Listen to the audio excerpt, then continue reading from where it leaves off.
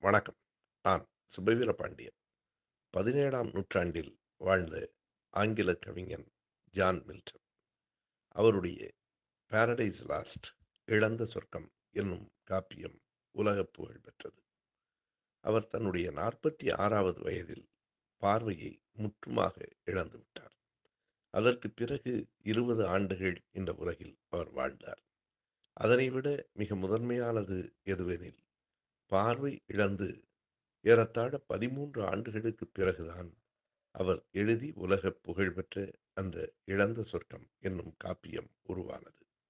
எனவே அந்த காப்பியத்தை உருவாக்கும் போது அவர் முழுமையாக பார்வையற்றவராக இருந்தார். அது குறித்து அவர் ஒன்றை குறிப்பிடுகிறார்.